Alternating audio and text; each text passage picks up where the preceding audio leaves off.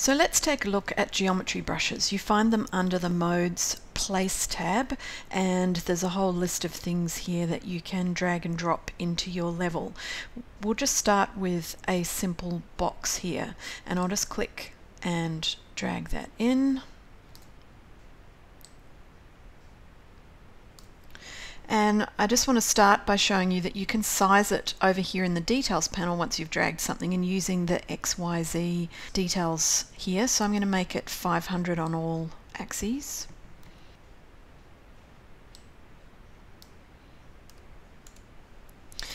And then just to show you that it's possible, with some of the brushes, not all of them, you can also make them hollow. And one of the things that that's good for, particularly when you're working with a cube like this, is it's a very fast way of creating a room because it gives you walls, floor, and a ceiling of your space.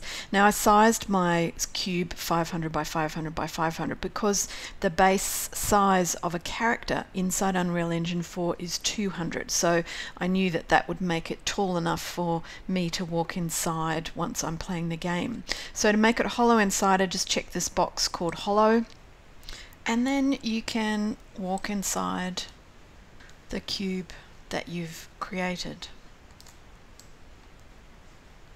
And you can see you've got a floor, a wall and a ceiling. Now I just whacked a simple point light inside because otherwise it would be all dark in here. So I'm just going to add another box brush and just show you that you can also scale it using the normal scale tool.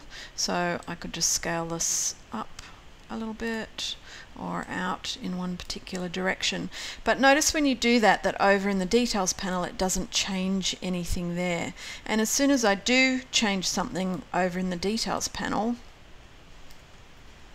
say for example like this, it um, undoes most of the scaling that I've done here. So it's a kind of either or thing, scale with the scale tool or scale with the numbers here. So down the bottom of the brush section here, you can see you've got two buttons, one called add and one called subtract. And that's how you can create um, more complex shapes. You can also set it over here in details. You can see here you've got the choice of additive or subtractive. So what I'll do now is grab a sphere, drag it in, and each brush type has various different settings and one thing you want to set on your sphere is the tessellation which is the number of different um, triangle faces you've got on your sphere. So I'm just going to set that to 4 which will make it look a bit more sphere-like. And I'll scale my sphere down a bit using just the simple scale tool. And then I'm going to make it subtractive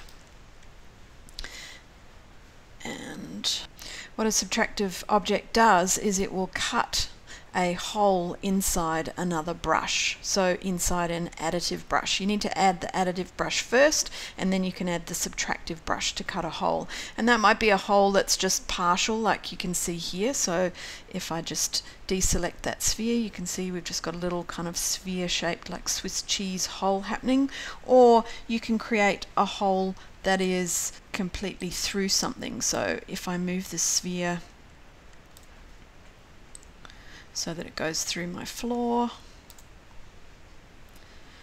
you can see I've now got a complete hole happening in the floor. Another way that you can edit geometry brushes is to go into geometry editing mode and that's the last tab in your modes panel. So if you click on that tab you can actually then select individual vertices of any kind of geometry brush shape that you have and move those vertices independently of each other and that allows you to create more complex shapes Another useful setting on a geometry brush is the setting that you can find under when you've got a surface selected under geometry here where you can set the alignment of the actual way that the material is applied to the surface. So you can see here I've got three different geometry brushes and yet I've applied the same material to them. These bottom two have got um, surface planar wall uh, floor sorry selected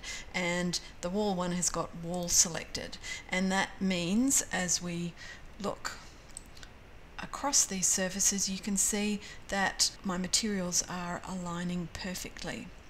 Another thing you can do with a material when it's applied to the surface. So I'm just going to drag and drop a material that I've made here out of a texture that included some te text element on it. Well the first thing I can play with is the alignment and that will change the way that the texture is mapped to the surface. So now if I choose wall you can see that now my text is actually the right way up.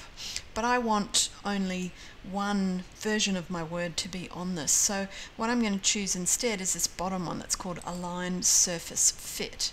And you can see here that then means that my text element, which I turned into a material with transparency in it, is now fully filling that shape. Now obviously it's distorted a bit because the shape is the wrong kind of dimensions, but if I made something that was the right kind of size, it would look fine. Now look at what happens when I apply the same wood texture as the floor onto this wall. The first thing to see is that the way that the boards are running here are in the opposite direction to the floor and what say I want them to be the same direction. Well changing it to be surface plane or wall doesn't make any difference but the other setting that you can change is down here where it says surface properties. You can actually rotate and flip and scale the way that the texture is applied to the surface of any brush. Again, this is only on brushes. So if I rotate this texture by 90 degrees, now you can see I've got my floor and my wall lining up.